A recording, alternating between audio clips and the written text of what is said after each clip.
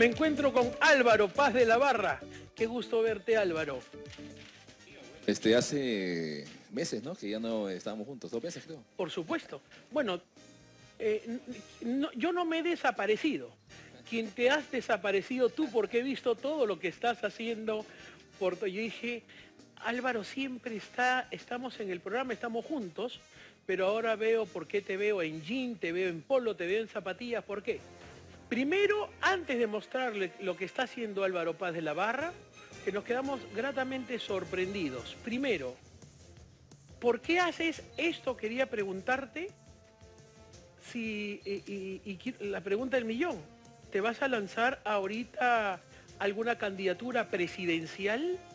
No, en lo, absoluto, porque... ¿Te vas a lanzar al Congreso de la menos, República? Menos, mira, este, el día ¿Y lunes por qué haces pasó... esas campañas? Porque normalmente los políticos se mueven en, eh, haciendo este tipo de campañas cuando van a, postular a algo. Y eso era lo que me preguntaban mucho, se veía mucha especulación. ¿no? O sea, el día lunes venció eh, el, el, plazo para que los alcaldes o los funcionarios, altos funcionarios puedan renunciar para ostentar algún cargo público, ya sea como este, presidente o congresista, eh, pero sino que a veces que la gente, esta falsa política, eh, confunde proselitismo con, con liderazgo. ¿no? Yo todavía tengo para dos años más de alcalde, para dos años más de, AMPE y creo que desde abajo estamos haciendo cosas extraordinarias. Claro, todo el mundo decía, oye, por ejemplo, hasta hoy, ayer, hoy, y tenemos las cámaras que han registrado todas las campañas que estás haciendo y decíamos, yo también nos preguntábamos todos, este Álvaro se lanza a la presidencia. Todo el mundo me decía, oye, Álvaro va a la presidencia de la República, Álvaro va a, hacer, va a congreso, pero nos dices que no. No, no, este, simple, ¿no? O sea, a mí mi padre me enseñó que todo en la vida tiene su momento, ¿no? O sea, paso a paso y me guardé eh, en, medios, pero hicimos un trabajo sí, silencioso, ¿no? O sea, muy fuerte, eh, con las mamitas del vaso de leche, 300.000 mujeres, enfermeras, colegio médico, hemos hecho cosas espectaculares, pero de manera silenciosa en los últimos dos meses, ¿no? Porque yo no quería caer en esa especulación diciendo de, oye, no, tú tienes, tienes, tienes un afán político, quieres ser presidente. No, en, en lo absoluto, eso ya en su momento se verá, se analizará y lo que queremos hacer de Lima es darle vida básicamente a esa gente desprotegida. ¿no? Claro, este, como comprenderá, estoy hablando con Álvaro Paz de la Barra, presidente del AMPE a nivel nacional y Álvaro Paz de la Barra eh, había dejado casi dos meses que no, no lo veía y el equipo de producción dice está recorriendo todo el Perú con muchos comedores populares del vaso de leche, más de 300.000 madres y recorriendo todo el Perú haciendo, eh, ayudando por el tema del COVID. Él es el, primer, el primer alcalde que se puso, eh, como se dice, los pantalones en el país, no solo como alcalde, sino presidente del APE. Hicimos toda la campaña con nuestra gran Eva Young de inaugurar las plantas y su planta de oxígeno pasearla por todo Lima y por todo el Perú. Entonces decíamos, bueno, entonces se va a lanzar a la presidencia de la República. Nos dice que no. Les pregunto si se va a lanzar en el Congreso. Me dice que no. Entonces la pregunta es, como todo político normalmente siempre antes comienza a hacer campañas, a ser dadivoso, y eso es lo que no sucede y nos da la sorpresa, Álvaro dice, no he renunciado al municipio de La Molina, ni me interesa ahorita la política. Lo que me interesa es estar con todas las madres y ayudándolas a todas. Quiero que vean este video, que nuestro equipo de producción ha podido captar las imágenes de lo que está haciendo Álvaro Paz de la Barra. Adelante, Teit.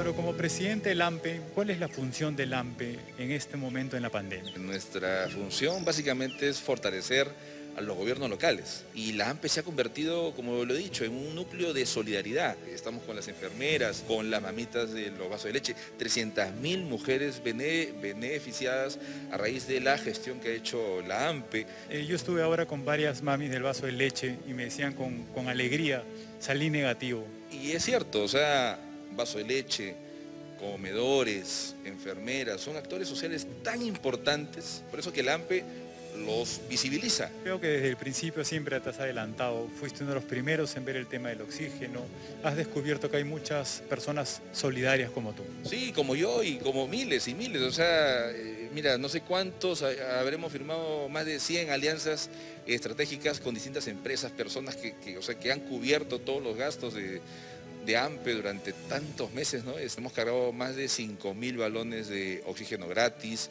eh, hemos estado con campañas médicas, ¿no? Con rayos X a los pulmones, y esto sin plata, o sea, sin usar recurso público, y esto cosa es iniciativa y gestión pura, ¿no? Y eso es liderazgo, o sea, hay que liderar, ¿no? Lima, el, el Perú con sentido común, de la mano con los actores sociales. En esta ocasión, la AMPE también haga un espacio y una suerte de visibilización de la situación. Entonces creemos que este es un espacio bastante importante y trascendental que va a llevar, más allá de que sea un momentito por este tema del COVID, nuestra visibilidad, sino que sea por siempre, pensando también en la salud de la población.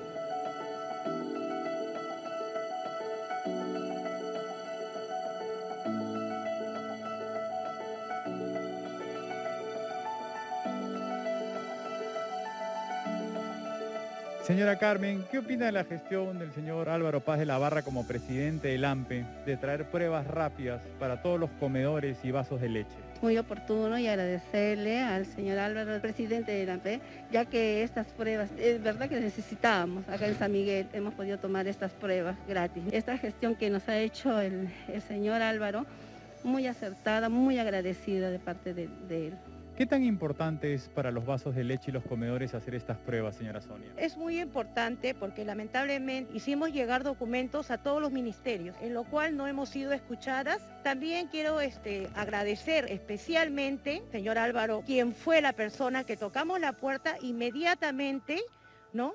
me hizo formar parte de esta comisión del AMPE, en la cual el día de hoy pertenezco, y nos donó 12 mil pruebas para todos los distritos de Lima y Callao. Señor Olivera, ¿qué piensa de la gestión del presidente Lampe, el señor Álvaro Paz de la Barra, que ha traído las pruebas rápidas para los comedores populares y para las ollas comunes? Eh, nosotros representamos al vaso de leche de San Miguel y para nosotros es importantísimo. Hay muchos, muchas señoras, muchas coordinadoras, muchos este, beneficiarios que han sido infectados.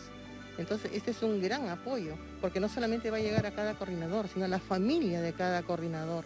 gracias hasta el señor Paz de la Barra, muy bien por preocuparse por nosotros y por todas las coordinadoras de todos los distritos.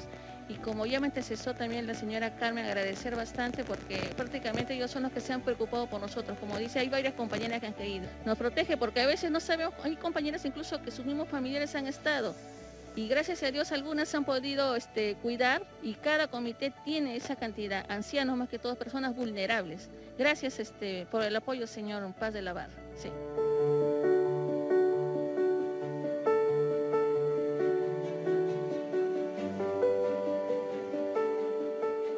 Señora Marcelina, ¿qué opina de la gestión del AMPE liderada por el señor Álvaro Paz de la Barra de traer las pruebas gratuitas para descartar el COVID? Estamos muy agradecidos a nivel del distrito de la organización de los comités del vaso de leche, que es la única persona humana que, sea, que ha podido darnos estas pruebas que nosotros tanto lo necesitamos. Ya que estamos en alto riesgo porque trabajamos con las mamás haciendo el desayuno, haciendo algunos el lonche para los niños más necesitados de Chosica. Una cosa positiva porque es un beneficio que nos eh, favorece a todos los que tenemos poco ingreso económico. Y, indudablemente muy agradecido porque es un gran apoyo, un gran beneficio para nosotros económicamente.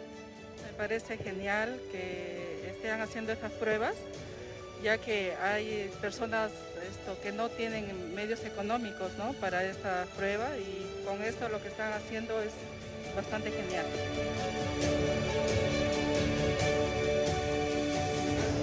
Redescubierto eh, que hay pobreza, pobreza extrema, hemos redescubierto que hay organizaciones de base descuidadas, hemos redescubierto que hay profesiones ¿no? Este, lamentablemente no atendidas como, como un sistema. O sea, se requiere de una gran transformación.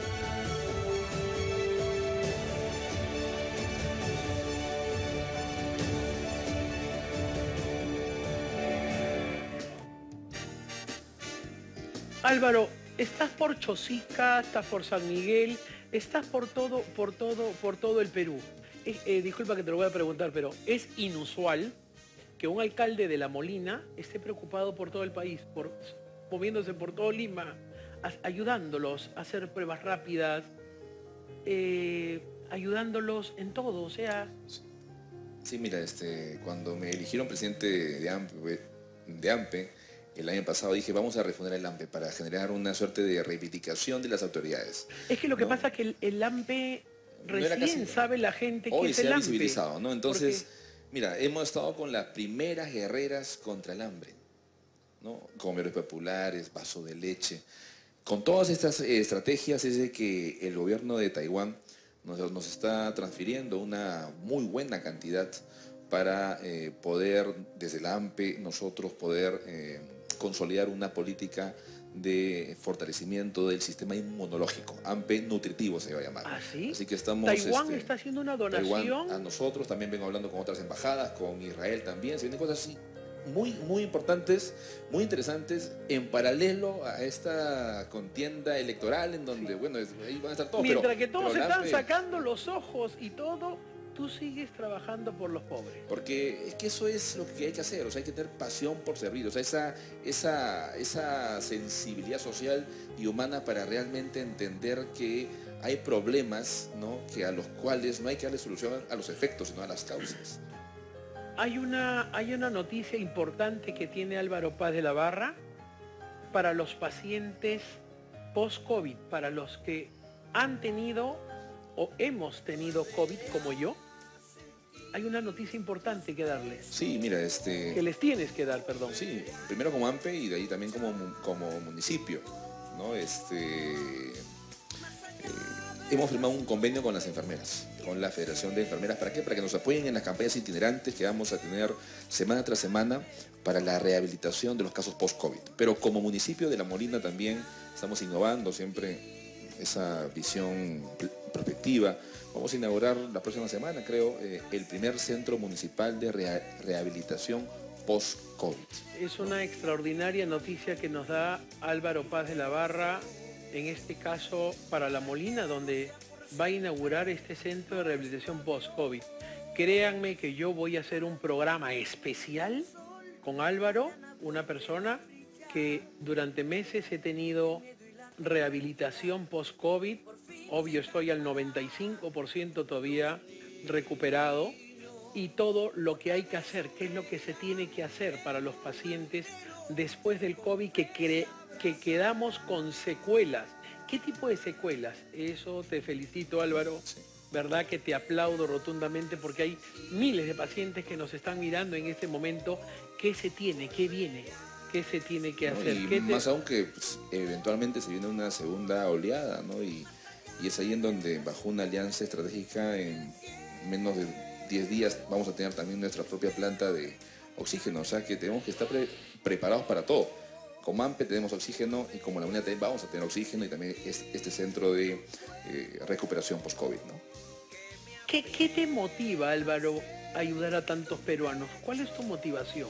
Es que lo que pasa es que ha habido, mira, es que, lo que pasa es que yo tengo 37 años y ha habido una suerte de, no sé, eh, un, estado ausente, ausente, mira, o sea, eh, hoy ahorita venimos viendo en, los medios reubicación, retraslado de comerciantes ambulantes, ¿no? Que eso es lo más fácil que este, puede hacer. Pero yo les pido y yo les digo a las autoridades, vayamos más allá. Son tres generaciones y, hemos hecho un estudio, tres generaciones que se dedican a, lo mismo, comercio ambulatorio. ¿Por qué? Porque, no, porque no, nosotros no generamos oportunidades. No generamos oportunidades y no hacemos verles a esas personas, a los ambulantes que pueden generar o, pueden dedicarse a otra actividad económica. Entonces, las autoridades de cara al bicentenario debemos ir más allá, o sea, darle esa proyección de vida a todas las personas. Yo hace un rato dije, ¿no? hemos redescubierto que hay ambulantes, hemos redescubierto que hay pobreza. La anciana de 80 años que sale a la esquina de, de su casa y vende golosinas, no es que sea una emprendedora, es una pobre extrema. Entonces tenemos que llegar a eso. O sea, tenemos justamente que reeducarnos nosotros y generar oportunidades sin diferencias ni dificultades. ¿Por qué estás tan involucrado con los pobres si tú no has sido pobre ni has sufrido pobreza? Tú eres una familia que lo sabe todo el Perú de tener, no sin faltar el respeto a tu padre que está en el cielo, que es una persona, tu papá, obvio, eh, a Vladimir Paz de la Barra, un hombre que lo ha tenido todo en la vida, sus casas, sus propiedades, sus hijos, en buenos colegios. Eh, te siento, ¿cómo, la, la pregunta es, ¿te nace ayudar? Normalmente a una persona le nace ayudar cuando ha sido pobre, como yo. Pero tú que no has sido pobre, porque no te voy a decir que eres millonario porque no te secuestren, pero sí eres una persona de plata, eso lo sabe todo el país y siempre. No es que ahora has llegado como miles de alcaldes que vienen al municipio a servirse y después acaban presos. No va por ahí. La pregunta es, ¿por qué siempre ayudando a los pobres? Porque, porque cuando te das cuenta que quieres transformar el país de abajo hacia arriba, te das cuenta que hay una desigualdad tremenda tremenda, o sea, que no hay inclusión, o sea, que no hay oportunidades, o sea, ese es el gran problema, o sea, que existe en el, en el Perú y desde el hecho de que uno que es autoridad tiene que tener la suficiente sensibilidad social y humana para mimetizarse en las necesidades de los terceros.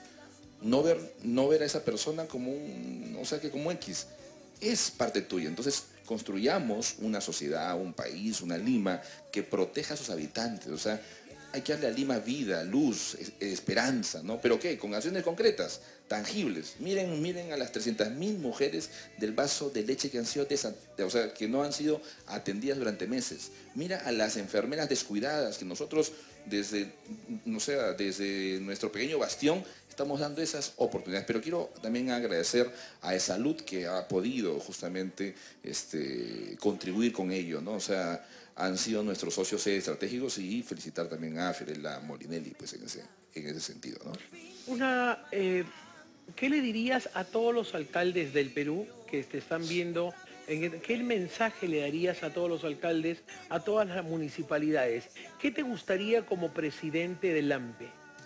A ver, este, de hecho que es bien, es bien complejo. Mira, nosotros ya tenemos 1.312 1.312 agremiados de los 1.874 municipios. El último en, en, en agremiarse ha sido el nuevo alcalde de la Victoria, ¿no? que, que estuvo con él hace unos días.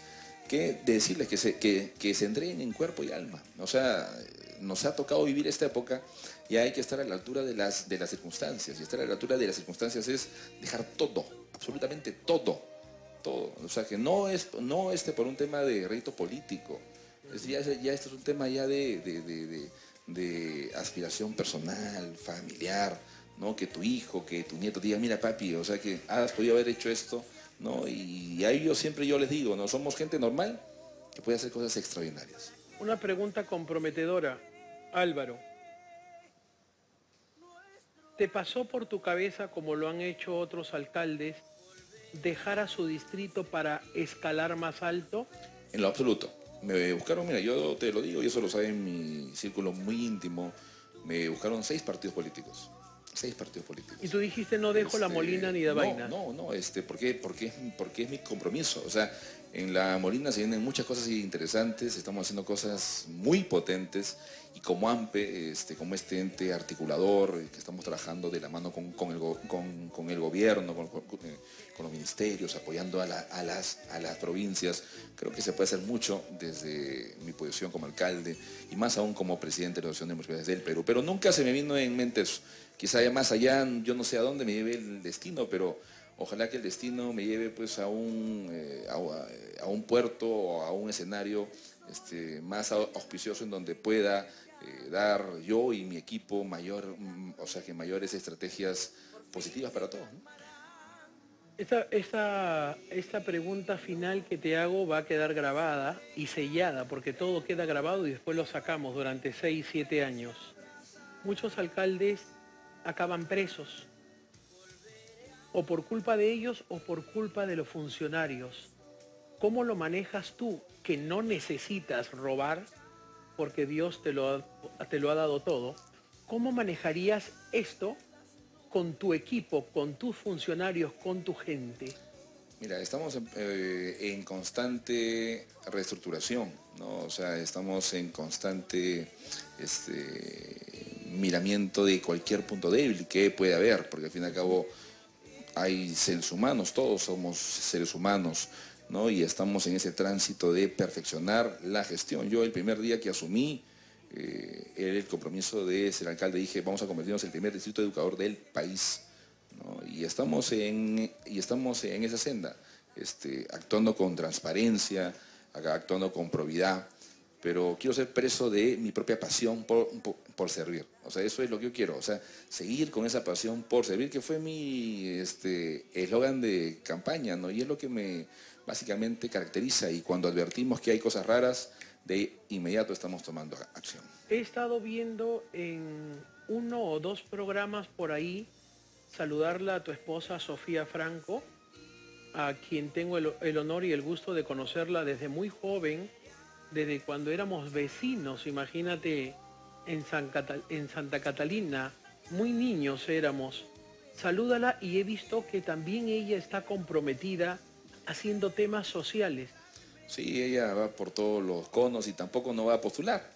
Entonces, este, eso, sí, eso. la gente que nos este, pregunta, y, estos seis, partidos que, me buscaron, ¿no? O sea, me dijeron, ya bueno, ya tú no vas, pero ella, no, o sea que tampoco, o sea, se puede hacer mucho, o sea, este, hacer algo por un interés personal es caer en la misma, eh, esa vieja clase política la gente no cree en sí. Entonces hay que darle confianza, hay que darle esperanza, ¿no? Y ya en su momento, pues, tomar alguna decisión. Sí, mi equipo de producción me dice, vemos a Sofía recorriendo algunos cerros. Detrás de un gran, hombre hay una gran mujer. Mis felicitaciones, Álvaro. Eh, sabes que aprecio mucho lo que haces y sobre todo a todas esas 300.000 madres que nos han visto hoy en Porque Hoy es sábado con Andrés Simplemente hay una persona que la que pueden contar con el AMPE, con su presidente Álvaro Paz de la Barra y con grandes aliados. Imagínense, grandes aliados internacionales con Álvaro Paz de la Barra para poder ayudar al país. Gracias, bienvenido Álvaro y le damos el pase a Raúl.